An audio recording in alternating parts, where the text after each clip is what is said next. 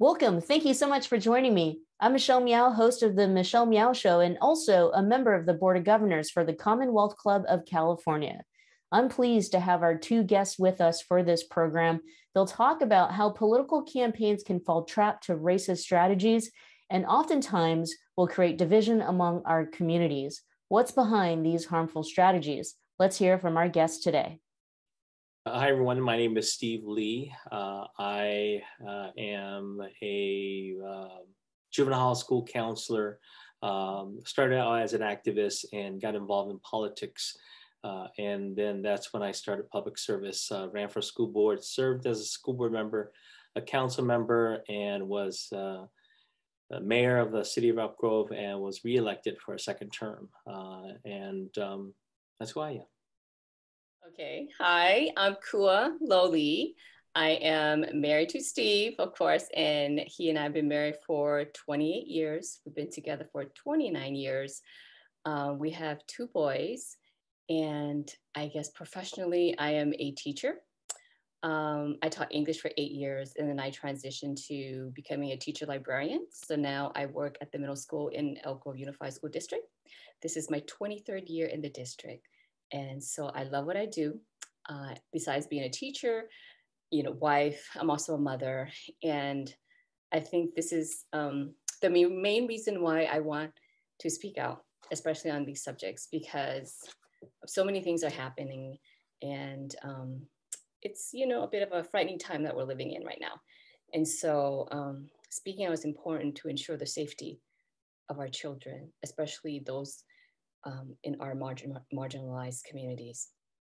Well, let's get to know you a little bit more.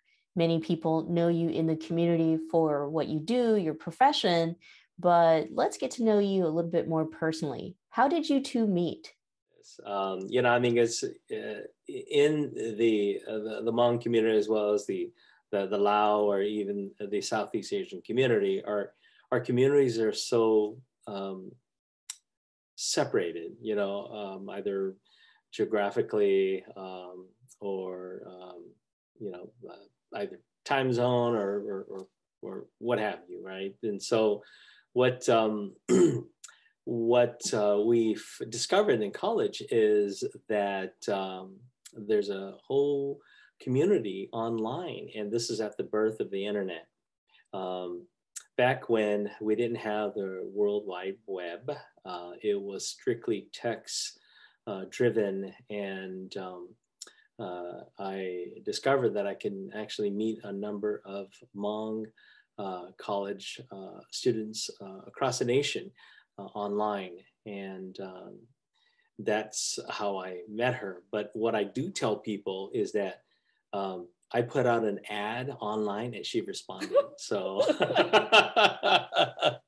that, that's the uh, over the top, um, exaggerated, exaggerated um, version. You know, version. But the truth of the matter is that um, you know I, I met her online and um, that was um, early '90s. Yeah. So, so is that true? Cool. Okay, so here, yeah, here's a real story.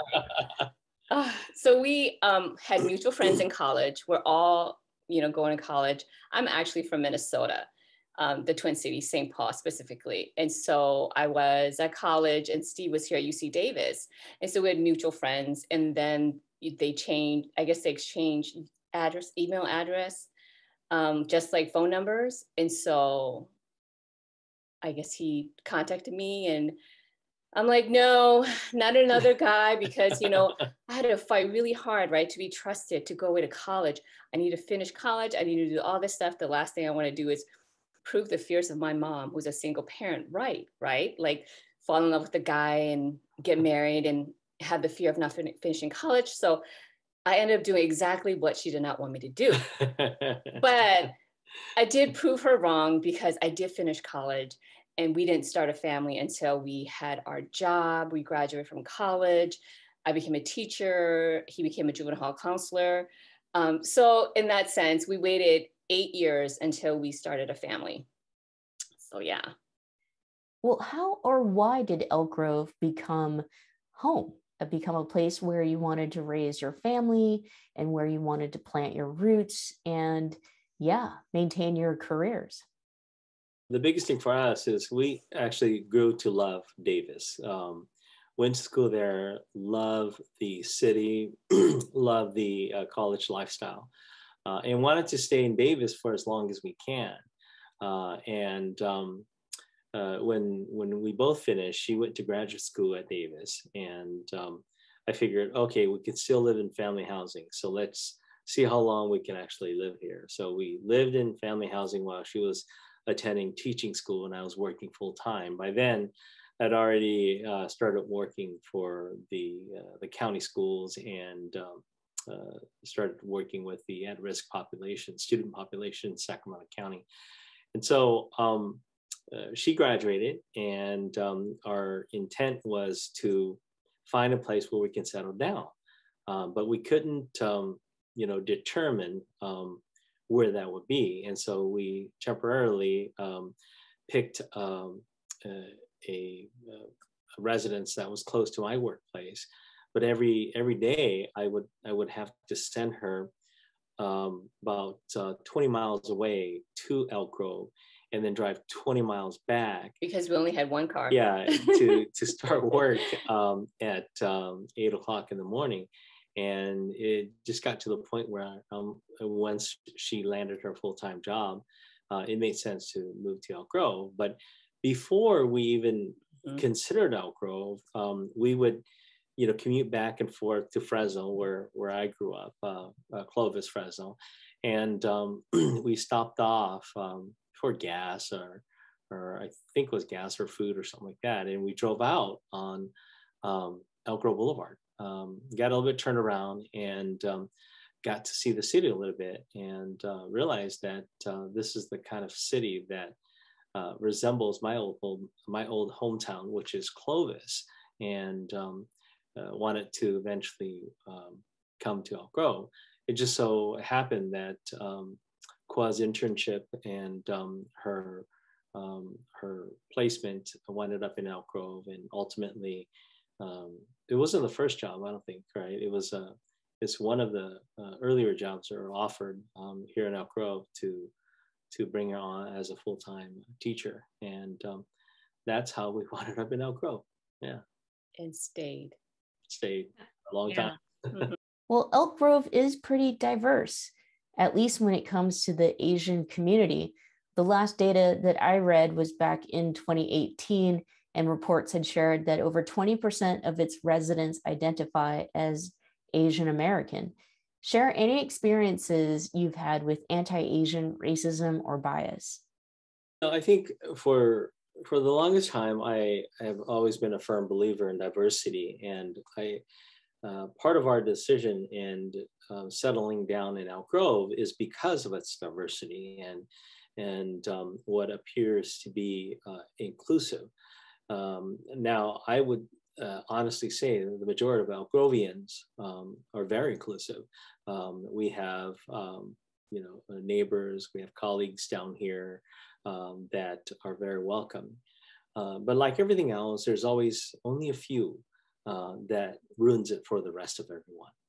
Uh, and um, it um, at the beginning it it wasn't as pronounced, uh, but what I have discovered in the process of of serving uh, as an elected down here is. Um, you know, people just blatantly telling me, "Hey, look, uh, go back to where you came from," you know, and um, at, at, first I thought it was okay. Well, there's only one person, but it's consistently with a certain type of people who would come and troll my social media and then make these kind of comments. And, you know, I figured these are maybe troll accounts. No, these are actual real people. These are real people that are proud um, to tell me that I need to go back to where I came from. Uh, and um, that's the, the, the part that, you know, honestly kind of caught me off guard. I, I have gone through that whole period of coming to the United States and being picked on, you know, because I couldn't speak English properly. Um, I didn't look like the Clovis kids.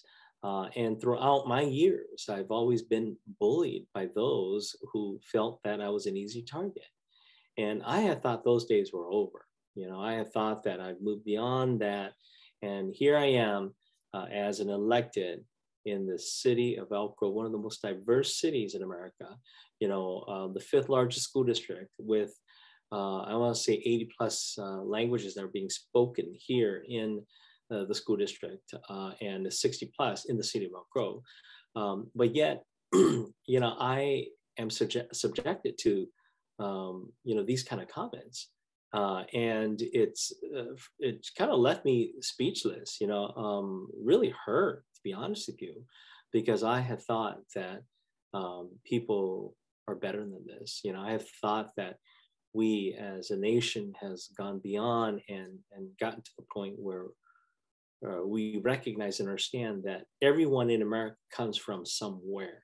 And that being the, the, the case, we are inclusive and, and welcoming. Uh, and, um, you know, when that happened, it caused me to, to pause and really reflect and try to understand what I'm witnessing. Yeah. And well, I also wanted to add that um, Elk Grove predominantly is very inclusive and very accepting. We moved here in 1998. And when Steve first ran for office in 2002, um, he of course was unsuccessful.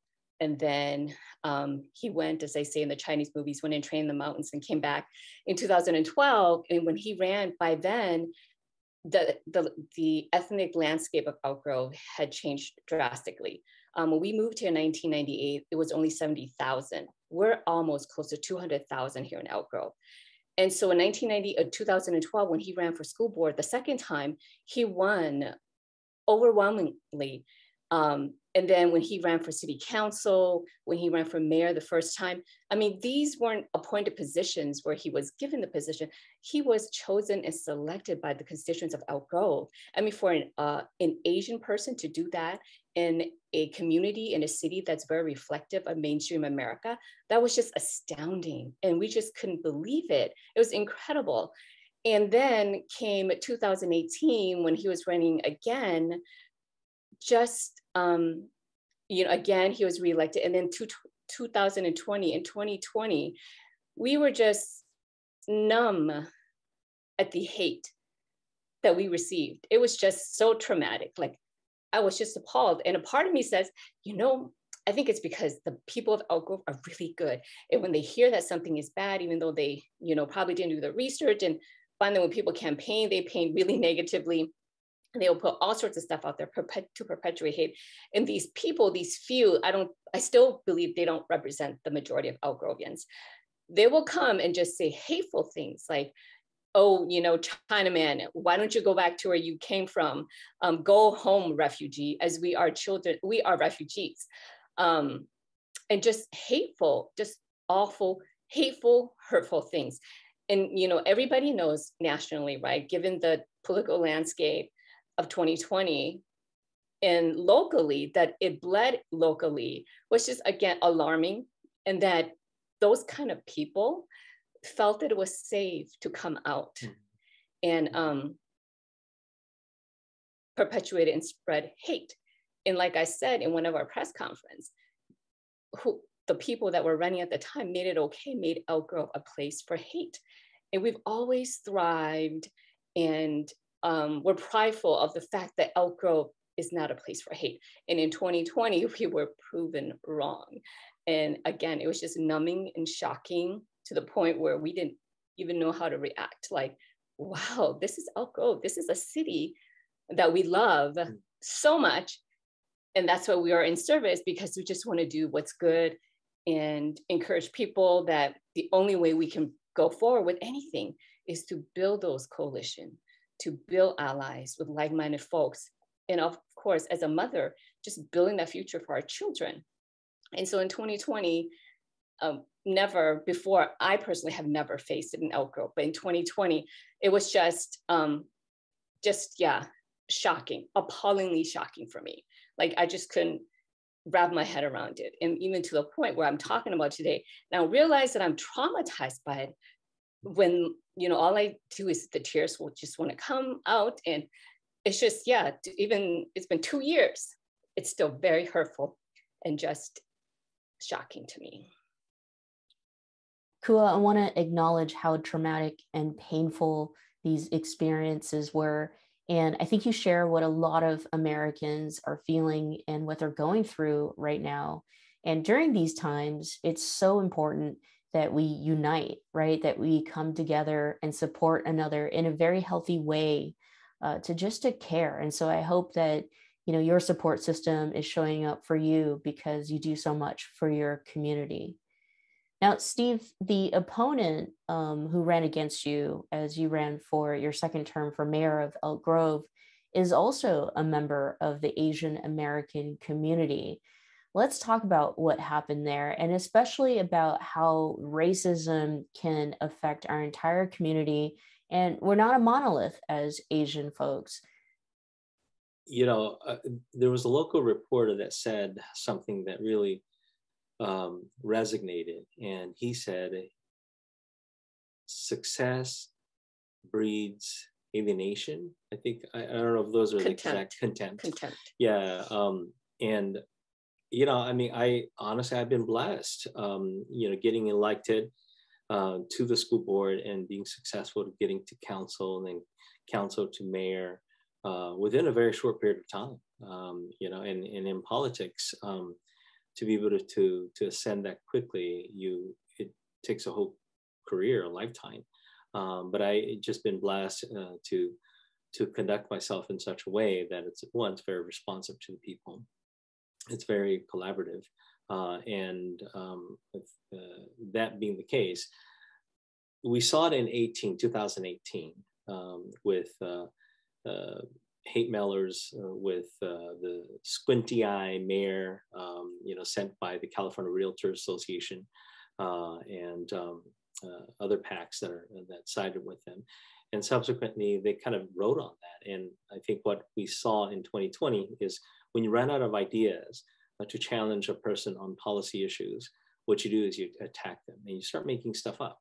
Uh, and that's what we saw in 2020. And they saw an opportunity. And um, you said something earlier in the opening um, about uh, even though they are Asian Americans, it doesn't mean that they can't perpetuate Asian hate. And the reason why that's important to note is, um, and we've seen it historically before, um, you know, back in, in, in, the times of the Japanese internment, um, uh, we had other Asian uh, Americans who would literally post up signs to say, hey, I'm not Japanese, please don't pick on me. Um, you know, those are indicators of just minority groups not wanting to be singled out. Uh, you know, but in 2020, it's a little bit, um, you know, uh, different. And I think that a portion of it was driven politically, uh, but a portion of it was capitalizing on the fact that um, only the negativity within the Hmong community, particularly among men, um, are being perpetuated by the mainstream media.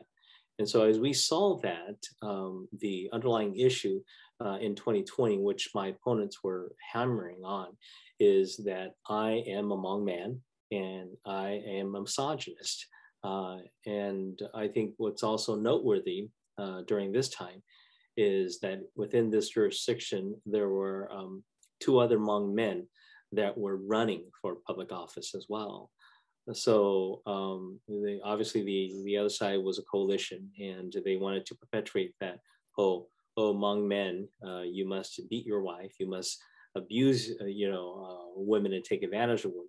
And they just all harped on that and jumped on it. And, and it, it got to the point where um, my opponents were, were talking about me being the godfather, uh, you know, being the sinister Asian uh, clansmen um, that would call all the shots and would send people to harass uh, others. And that's so so far from the truth, you know. And, and I always say this: look, professionally, I'm a juvenile school counselor that counsels students that have been uh, victimized by unimaginable things. Uh, you're telling me that now I'm a mafia king, uh, and wait a minute, I've seen this before. What you're doing is you're writing on the coattails of the stereotypes throughout the history uh, of America and uh, pegging me as that evil, um, you know, Asian uh, godfather, uh, and uh, you hate women and you continue to perpetuate this. And so um, they used this, harped on it, and then um,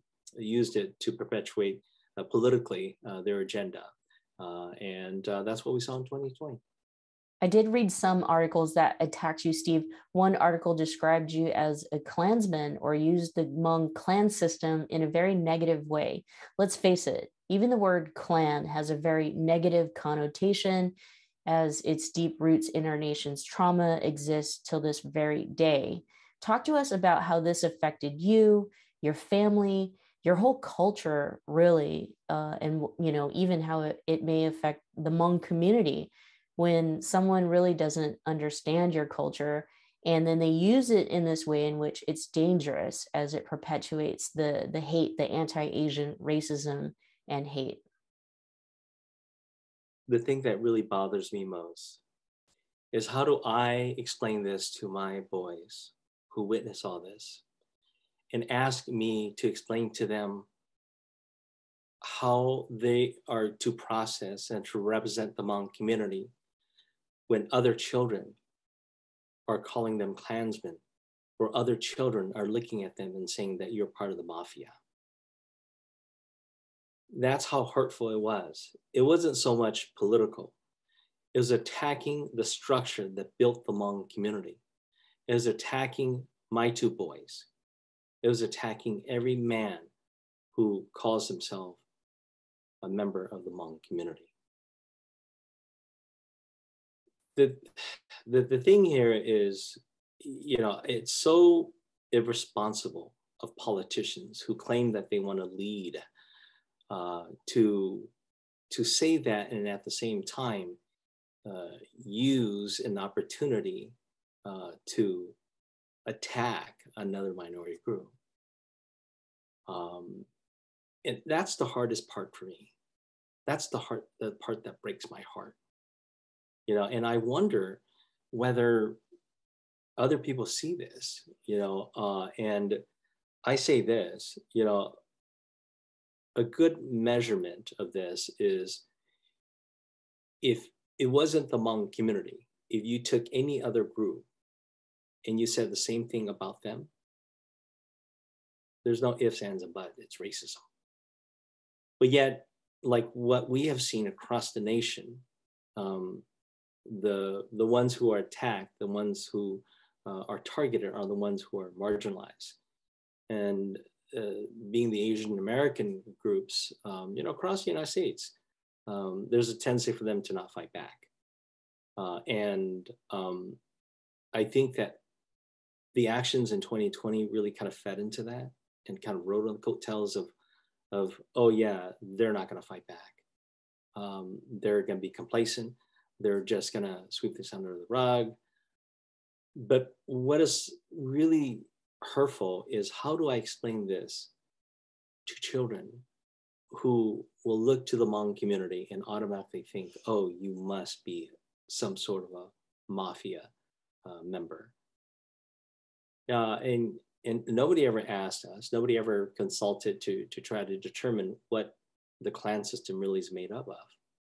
You know, I mean, never mind the fact that the Hmong clan system is composed of 18 family um, uh, clan that, uh, for the sake of um, uh, formation, um, it was it was designed so that cultural um, burial rites, uh, cultural weddings uh, could be um, uh, probably C2. Uh, and so I don't know if you, you are aware, Michelle, but it's me being a, a Lee, I am prohibited from marrying a Lee. That's why I married a Lo. So uh, for my boys who are Lees, they are prohibited from marrying the Lees because out of respect for the family name, um, you the assumption is that all the Lees are related. Uh, and so that's what it really is. It's it's a it's a kinship, um, you know, group, and um, the way it was labeled and the, the way it was used in public meetings, referring to my community as Klansmen, automatically gave you the image of uh, you know, Hmong men in white hoods, uh, and and that's the part that really really hurts me it hurts my family. It hurts the Hmong community. And hurts for any. It hurts anyone who uh, could potentially be mistaken as, as, as a Hmong. Um, and, um, you know, the, the sad part of is that this is continually perpetuated uh, in Elk Grove. Uh, and, um, uh, you know, it, it's just,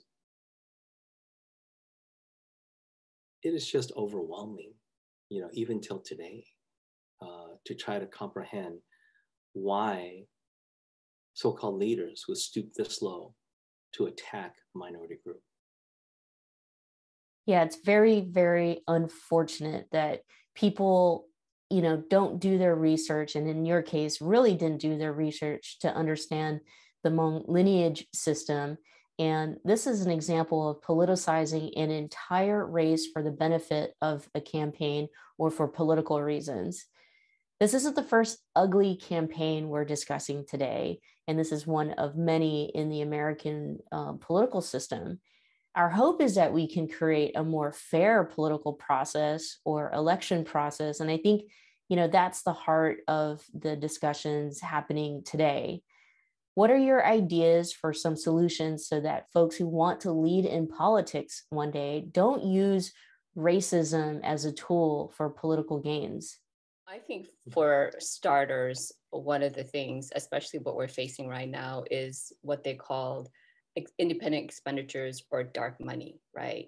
Um, with the supervisor race, there's a cap on funding and donations, but with these PACs or uh, political interest PACs, they have unlimited funding. And right now, there was just an article that came out today by a local uh, newspaper here in Elk Grove calling out the California Association of Realtors because right now they're attacking uh, an Asian woman who is also running for, for office here in Elk mm-hmm. Grove. And then they're still attacking Steve. Mm-hmm. And and so it's like okay first time okay maybe it was just steve but now it seems like and i believe they also attacked in 2020 another asian woman running in sacramento city too. This is california association of realtors. And so now we're like wait a minute. Okay we're not that dense. We're seeing where it is. It's yeah. race baiting yeah, and three's a pattern right? you yeah. are you are um, depending marketing on the fears of mainstream perhaps you know um, culture afraid of the foreigner or the other coming over, uh, taking over your, your community and doing all these things. And so for starters, get rid of you know that kind of funding, let there be a cap um, because whoever has money has unlimited funding will get to deliver or put out whatever message that they want to do. And right now they are perpetuating that Asian hate. I, I will say, and I'll be honest, and it's true. Um, and it's almost like even though you know this is 2022, you would think that people wouldn't do that, but they are, you know, still doing this and riding on this this hate of Asians or other. Still, you you would think that we made progress, but we haven't. It seems like the landscape is is okay now um, for those who hate to come out and say whatever it is um, they want to say based on their own ignorance of different cultures. Our culture, the Hmong culture, our issues are not unique to us it's every culture has these issues.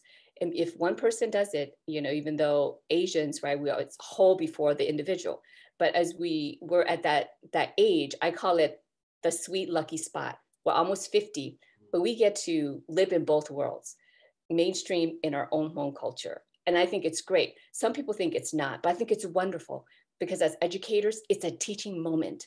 And when we hear Hmong men do this, I would say, no, that's not true. We have healthy relationships, long lasting relationships. We love each other. We, we rear our children just like everyone else. We want them to be good people at the end of the day. That's all that matters. And so that's one way, I think, again, going back to the um, personal interest groups when it comes to political campaigning, they have unlimited funding individual candidates do not have that. Like we are totally grassroots. Our funding is funded by small business owners, individuals. We don't have special interest money at all. So yeah, that's one one way. You know, the other thing I think that people should have no fear to call out hate. You know, it's not, it's it is hate, whether the perpetrator, regardless of the color of the perpetrator it is hate regardless of the organization. It is hate is hate. And when you start setting mailers attacking somebody consistently attacking Asian Americans. Uh, and the three individuals, me included, well, if we include the, the other two individuals, there are significant Southeast Asians that are running uh, and for office in the Sacramento region. And when you look at that, and what's the rationale behind it? What's the reasoning behind it? Well, if you start sending mailers that uh, are highlighting the features that make them unique and ethically unique, um, and uh, you begin to see a pattern, yeah, let's call for what it is. And people should have no fear in doing that. Um, hate is not only uh, you know applicable to certain groups of our community. Hate is hate, you know, um, and and human beings can be the most loving, but human beings can also be the meanest uh, on this planet, right? Um, we've seen it historically We've seen people being singled out because of the color of their hair, the color of their eyes, the ethnic group that they're a part of. Um, this is something that um, we as a community as a whole need to understand and make a stand. Um, you know, and um, I remember confronting the California Realtor Association and saying, you know, this mailer is hateful. They stared at me in my eyes and said, no, it's not you know, the person I was talking to is African American. And I said, How do you feel? Is you being pulled over late at night, driving, you know, the car that you drive? I know he drives a luxury car. And I said, you know, you're being pulled over in law enforcement. And what's your first reaction? Well, they're only pulling me over because I'm black. And I said, no. What if I told you that based on the officer, his interpretation is that you fit a certain description and subjectively he doesn't think that he's profiling you. And so this um, uh, member of the board said no because it's my perspective. And i told him that's exactly what my response is to you. It's my perspective. I see the features that you're highlighting. Uh, this picture of me has me laughing but my eyes are squinted. And then in it you sent a message hinting at me being the squinting eye mayor. Do we really want him as your mayor? I think that's unfair. I think that you know um, people should um, call it for what it is. When you see hate, it is hate, you know, and um, we have to have no fear to stand against those who continue to perpetuate this, even within our own Asian American community. If they are attacking another group for whatever reason, and we see it as hate, we have to call it for what it is. If you see something, say something. And that's something that, um, you know, uh, I've, I've heard all over you know, um, you know, different communities. Um, but that's not the case. Only say something when it impacts certain people. No, um, the the rule is real simple. If you see hate, call it for what it is and put a stop to it. That's the only way we can actually work together as a community and stop hate. Um, because as they say, today they came for me, uh, but tomorrow they will come for you. Uh, and um, you know, as a free-thinking society like the United States, I think we have to have the courage um, to to set an example for the rest of the world. Uh, but what I'm seeing in Elk Grove is that leaders in Elk Grove have actually felled each and every one of the residents that live here. Um, they have perpetuated hate, and it is sad and disgusting. Um, yeah. Go ahead, Cole. Uh, what you said also reminded me something that we never saw before that we saw in 2020 was a major news outlet in Sacramento that perpetuated this hate. Um, what happened, I remember this uh, specifically, March 2020, right at the height of COVID. And our elderly Asian moms and dads, grandpas and grandmas were being targeted because of this leader nationally who said that COVID came from China, right? And so this mainstream uh, newspaper um, published the locations of where Asians lived in Sacramento County. And we were just like, was very nice. You know, I mean, we, we were just like, okay, with all your resources and everything, you are a major news outlet and you are publishing this at the height of all this hate against Asians. And so Steve was the only elected who called them out on it. And the backlash was swift and immediate. And they had to pull it and they had to publish in a publication, uh, an apology. And that they had a personal vendetta, I feel they needed to, to score with Steve. And so they perpetuated hate because they endorsed his opponent and just, you know, published op-eds as real news article as facts.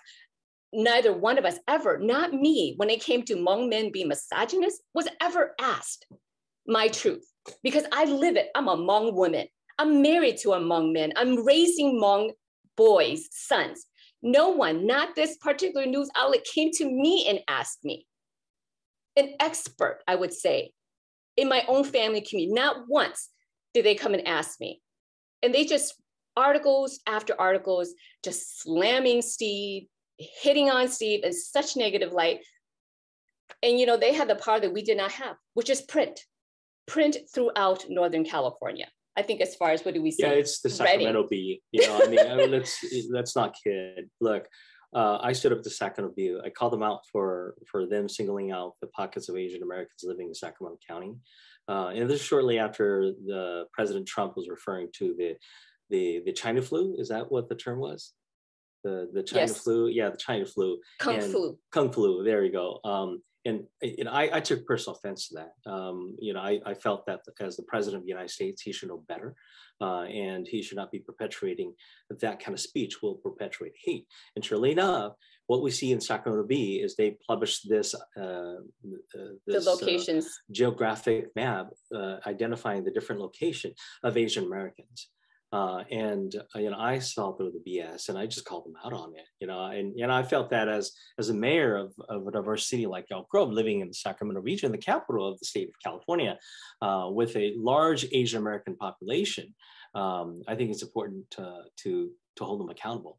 And I did, you know, and I think that that's what elected should do is um, you have to have the courage to stand on your two feet.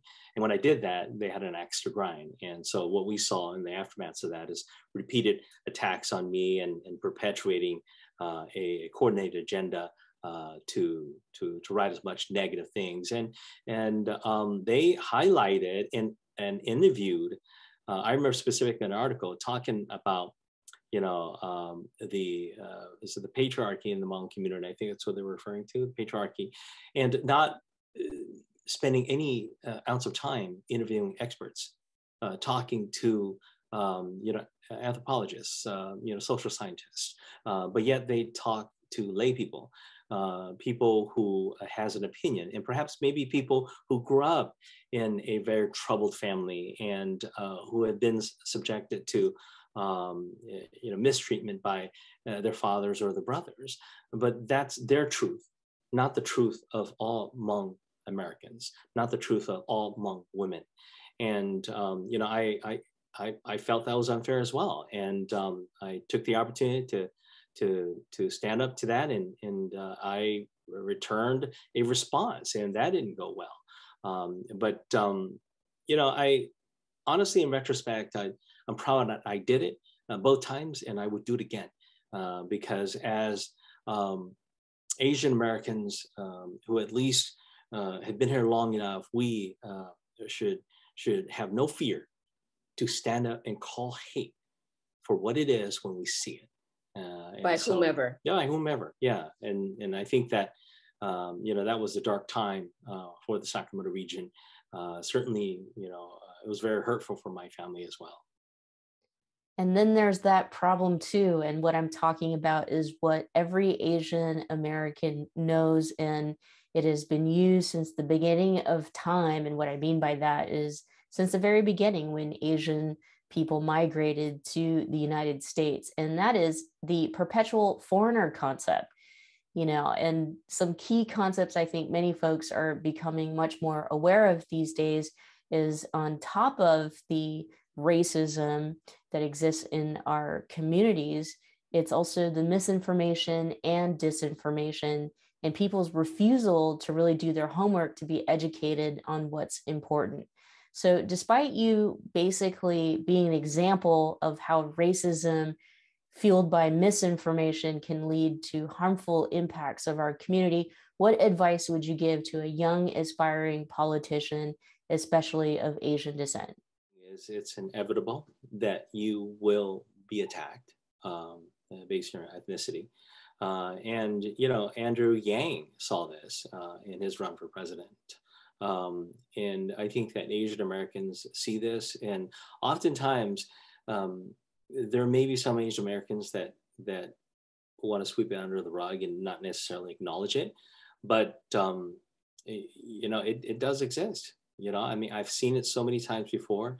Um, I used to have a uh, Caucasian assistant, and um, every event that we show up, they introduce, uh, "Hey, Mayor uh, Mayor Ly is here," and everyone looks to uh, my staff, uh, thinking he's the mayor.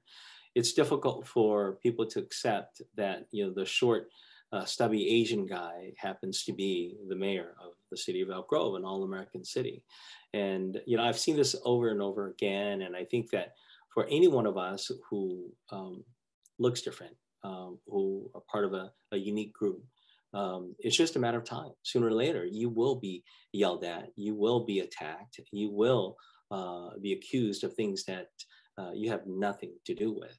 Uh, and so, um, you know, for any young person uh, who believes in uh, the spirit of what America is made of, uh, continue to pursue that, continue to to go after it, because that's what makes America special is for the idealist to continue to pursue regardless of the obstacles that uh, are stacked up against him or her. Um, and I think that that's something that we have to remind young people um, that um, when you when you see it and you want to make a change, you want to highlight um, uh, a policy, you want to shine the light, in the words of Michelle Obama, on issues uh, that you you want to help uh, perpetuate or or um, you know give rise to concerns uh, to the particular issue uh, you have to stand up. You have to stand up and run.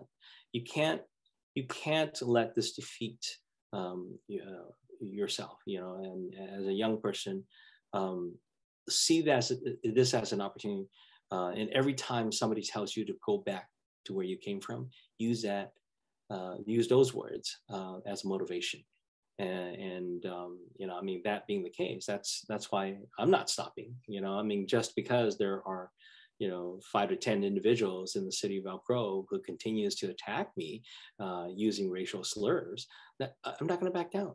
You know uh, i know who i am. I know what it took for my family to get here. Um, i know that in my story um, you know, the story of my father rescuing american pilots in laos is also the story of all Americans. And I always remind people of that. Each family here in the United States has a story.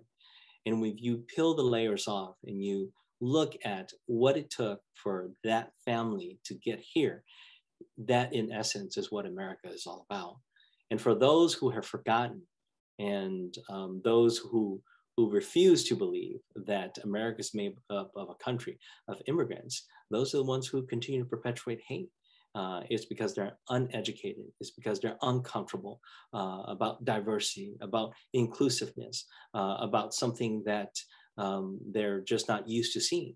Uh, and um, you know, I, I, and, and I think that uh, for young people who want to continue on this journey of public service, I do encourage them to continue uh, and to pursue it. Don't let my experience discourage you, or don't even let the the naysayers in your life discourage you? Push on. Steve congratulations on making history as one of the first Hmong american mayors in the united states. I'm, I, am only the only one who made it uh, to the mayorship. Um, yeah. uh, and so you know i when i ran i didn't that wasn't the reason why yeah. i ran. I ran because i was tired of seeing um, you know things that were being neglected. You know we had a, an abandoned mall in elk grove um, we had um, you know businesses that that um, retail space that weren't being occupied. We had um, folks that used Elk Grove as um, a as a bed, and then they get up and then go and work somewhere else. And so these were real reasons why I, I ran. And the night that I the night that I won in 16, um, I got a phone call from NBC, and uh, they said, congratulations for being the first Hmong mayor in the United States. And I'm like, I took a moment and I'm like, I didn't realize that.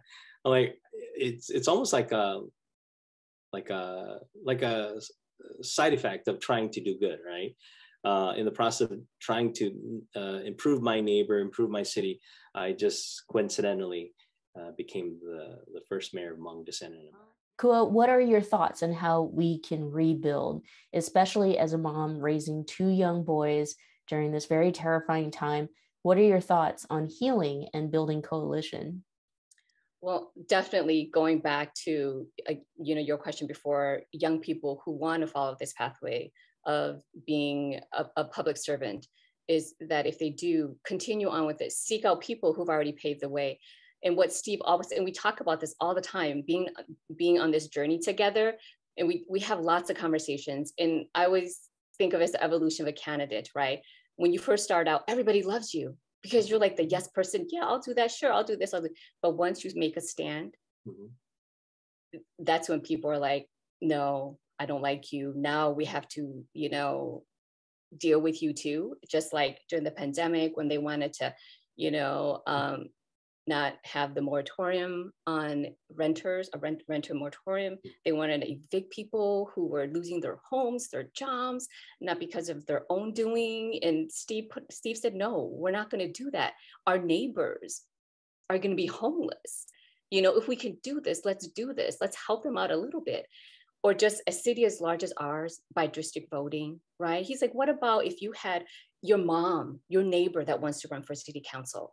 They should be able to. They should be able to have the funding to do so. So let's go by district, that sort of thing.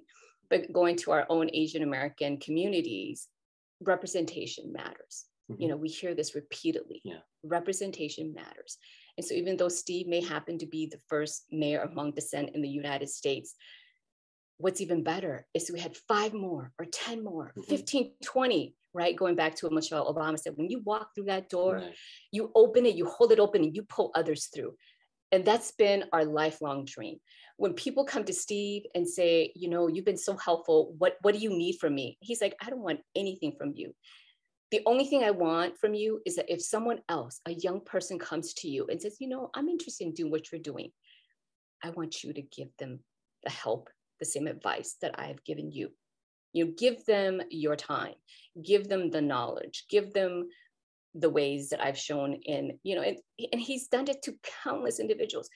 Inf- uh, advice um, that would cost them thousands of dollars if they were to hire a professional consultant. But because he's been through it um, he gives it willingly because again going back to what you know former first lady michelle obama said get through that door hold it open let others come through.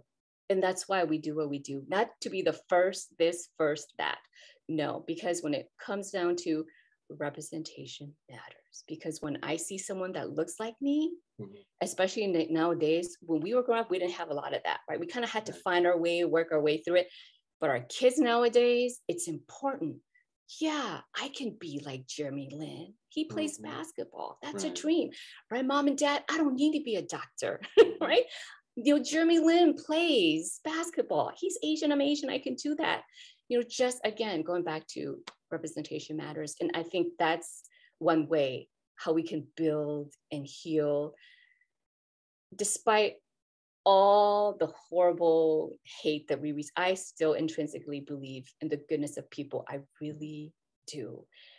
And with our boys, you know, I teach them whatever happens, you judge that person, that person alone, not their community, not their ethnic community, that person alone, their actions, judge them by that, and do not judge the rest of the, the community members by that. Right. Um, you know, in in just teaching them that yes, the whole as a family, as a community is important, but mental health nowadays again, that's part of the scary time that we live in. Mental health is so important.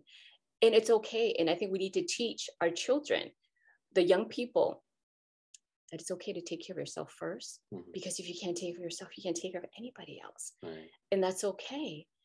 Um, like this just reminded me of a story when our boys were four and five. We were watching Marley and me, and we know what happens to Marley. And they're like, they looked at me and they're like, Mom, is it okay to cry? and a part of me was just shocked. I'm like, when did we ever tell you that as a boy? Right. It wasn't okay to cry. Yeah. And I said, of course, cry. And then they just went, "Wah," right? Yeah. So sad. and you know, again, just being cognizant Mhm.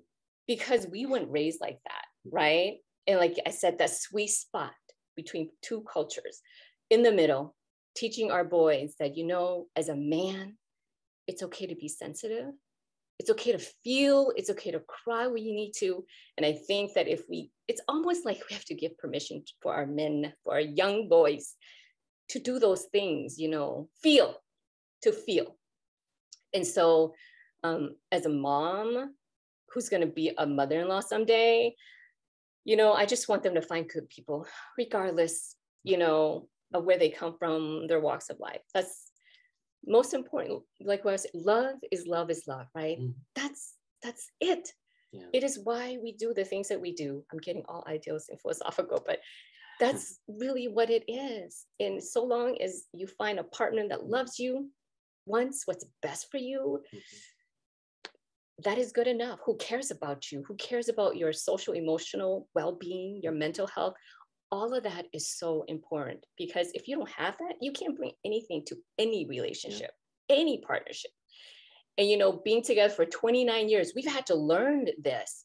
You know, um, our parents, his in laws, right, lived with us. And, you know, our father has passed away already, but our mom, who's 93, who lives with us, and she's still very ingrained in the traditional sense of women's role and men's role right? But now it's different. It's kind of hard for her to see that it's okay if you make dinner. It's okay if i don't make dinner because i've been working all day too. You know just things like it's a, in teaching. And even our boys see this. They're like mom and dad you guys are like so perfect and in sync. I think there's something wrong with that too. Like no. You want a partner in Yeah. almost every sense possible in life because there's all that stuff that's out Right. there. And when you come home to that should be your safe place. Um, so that's that's what i feel as a mom as a woman as a Hmong woman. That's how we can that's how we can heal. And that's how we can make things right. And that's how we can you know hopefully make the future better for those that are coming after us. Steve, last question for you. Tell us what are you up to now? What is your path forward and how can folks support you? So I am running for county supervisor. Um, you know, I'm I'm not going to let the 2020 election and the hate speech that was spilled all over Elk Grove stop me. I think it's now more critical than ever uh, to stand up and uh, be heard. It's more critical now than ever uh, to call out um, the hate for what it is. And that being the case, and you know, I'm, I'm committed uh, to to running for county supervisor. The election is going to be June the seventh uh, for the primary, and you know, hopefully, if I am blessed with with the the, the help of uh, the the voters, uh, I would be in position one or two, and that would allow me to advance to November.